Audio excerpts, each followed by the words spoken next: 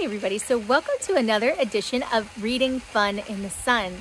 And today we are at the beautiful Crane Estate. And the book that we're going to be reading and reviewing in this video is really the story of how the very first Oxford Dictionary came to be, how the words were selected, and more importantly, who was selecting them. As you know, I am very passionate about equitable search, so this one really hit home. So if that sounds interesting to you, let's keep on watching. As part of this video, I am giving both of these books away for free. So if you want to be entered into that giveaway for both books, make sure you like, subscribe, and leave a comment below if you are interested.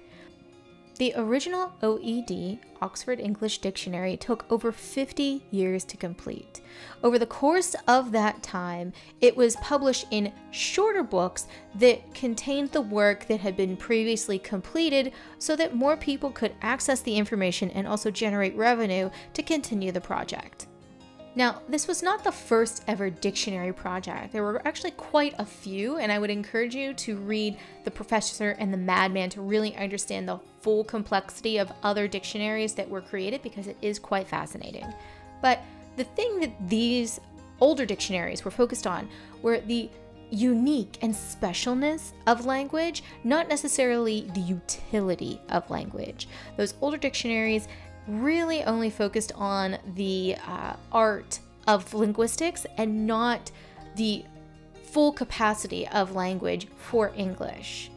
And the reason that the OED was originally conducted was to set or to settle, normalize the English language. Why did this need to happen? Well, before there was no accurate record of all the words in English. Other nations, like the Italians and the French, had whole committees dedicated to defining the language so that the people that spoke that language had a canonicalization or a normalization of their language. Up to this point, there wasn't something that extensive with English. And even to this day, English is not completely a canonicalization. However, because of the work at the OED and other dictionaries that came after, like the Encyclopedia Britannica and other things that fleshed the language out a little bit more, we do have a settling or normalized English language that we can draw upon. This is a major foundation of NLP. We have standardized language, we have taxonomies, we have linguistic principles that we can follow to actually mine from some of these terms and contexts. The OED had two distinct differences than previous dictionaries. The first is it was trying to have a complete list of all words that were even possible in the English language, from the most simplistic to the most complicated. The second thing it was focused on was more of a historical, morphological understanding of the language. English is a borrowing language. We borrow a lot of words from other languages and cultures. So, how do we define these words in English? And when were they introduced to the English language? These are the things that really set the OED apart. Something that we, even in computer science, still use today is the OED looked for examples of context in literature to define what each word meant. And each word could have multiple contexts. And this is something that we still use today. When you are defining what the context of a word is, you know a word by the company it keeps. That is the main tenant expressed in The Professor and the Madman.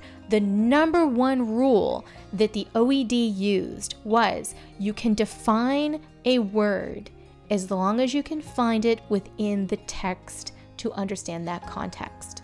The same can be said for NLP and search. If you are creating a taxonomy and you need to understand if something is going to be effective for search. If you can find it in the text, it means it will have a stronger recall, a stronger precision than a term that is more categorical in nature. An example of this would be using Internet Protocol as a category of things versus HTTPS, which is a specific type of Internet Protocol. That is going to give you a stronger connection to content if that is what is actually in the content. So let's set the stage. Why even talk about how English was normalized and what we can learn from that exercise? This normalization of language, understand the context of language and who is defining those dictionaries and who is defining which text is being used for the context of words. That is all incredibly important to us in computer science and NLP if you are only dealing with a corpus of information derived from a certain class, a certain language, a certain different characteristic of the authors, or if you're dealing with social media, a specific characteristic of those peoples, your machine learning is only going to be defined by those voices. And that is something that the original Oxford English Dictionary struggled with. The original OED was focused on deriving words from literature. Literature at this time was primarily published by men and men of prominence. So, right there, the original dictionary was being defined from a male perspective, from a place of prominence. Not everyone associated with the OED came from prominence originally. James Murray, who was actually the main editor of the OED, had a very humble background, but eventually he did become a man of prominence. So that's one thing that both of these books really highlight is the voice that was missing.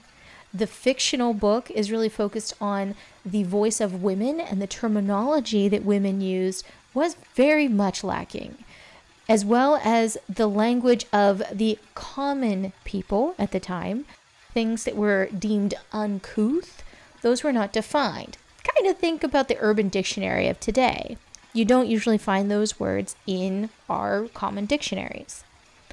The other things that were not included were from the people that were deemed others. So this would be anybody that did not fit the norm of Victorian England. Now, let's look at how we can learn from this component of the original OED. When we are doing NLP, we have to always be thinking about our end user or the people that will eventually be using whatever is derived from our extractions and the insights that we are creating with our NLP projects.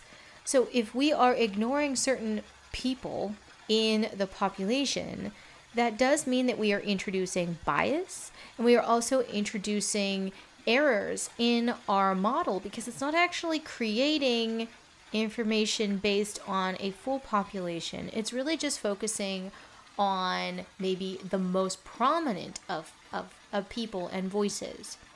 This could really impact your NLP project because if you do have someone that is using different language than that in the canonicalization of language, they might not find what they're looking for. Let's take your search engine analytics, for instance. If you look at the words that people are using when they are doing their search, and you include that in your models, you will have a much stronger model.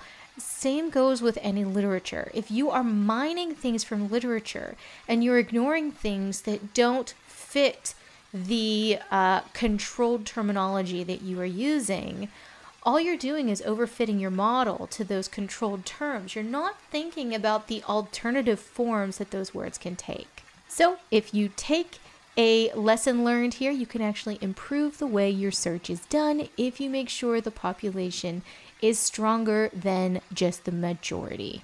Now, the OED had reviewers, lexicographers that were a core team. Those are the folks that were selecting what would be included and making sure that grammar was followed. These were the editors and editors in chief. However, there was a large population of volunteers And this is where we get into another lesson that we can learn from this. A lot of those volunteers that were sending in suggestions and sentences that they were deriving from literature were from all different populations. There were a lot of women. Actually, the historical book here is talking a lot about how there were very prominent women that were educators, that were professors, that were interested in the OED and contributing to it. In that same vein, The Professor and the Madman is a historical account of a really interesting story. In fact, I felt that uh, life was more interesting than fiction in, in, in the comparison of between these two books because the story, and I will let you read uh, the conclusion of the story in The Professor and the Madman, but one of the top contributors of the OED was somebody that was a murderer living in an insane asylum. But he was very, very educated, very uh, knowledgeable. And so, in the time that he had, he actually suggested over 10,000 entries into the dictionary that you and I use every single day. And here is one of the last lessons learned, and that is we cannot expect the people and the data sets that we are looking at to express and have the same belief systems as as we do. So make sure that one, you don't push your own belief systems out onto the data set and you don't judge those that are in the data set. We are scientists. We are here to determine the facts, not to judge. And we can exclude things if they are unethical or if they will harm someone. But these are real people. The data you are dealing with is from real people. And oftentimes, you will not know those details. Just stay objective as much as possible. All right, so overall, both of these books were really good reads. I would suggest The Professor and the Madman over the fictional book, mostly because the uh, it was very well done. There was a lot of good detail, a lot of really cool um, lexicography history there. Um, unfortunately, there's not a lot of citation, and I think the author was actually given access to primary documents to write most of this book, but I do kind of wish I could look at the evidence to back up some of the claims and, and quotations that he was using.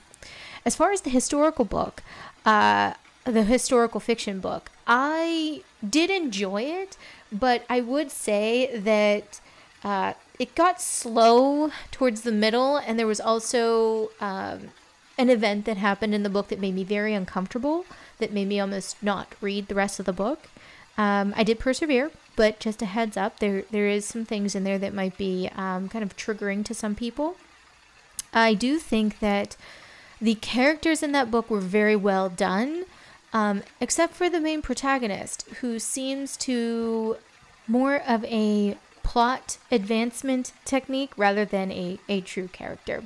So both good reads, but I would suggest one over the other. All right, so I hope this has been very helpful to you. I had a blast reading both of these books. I hope that you enjoy them too. If you have read either of these, please leave in the comments below what you thought of them. All right, so with that, I want to thank you very much, and I'll catch you next time.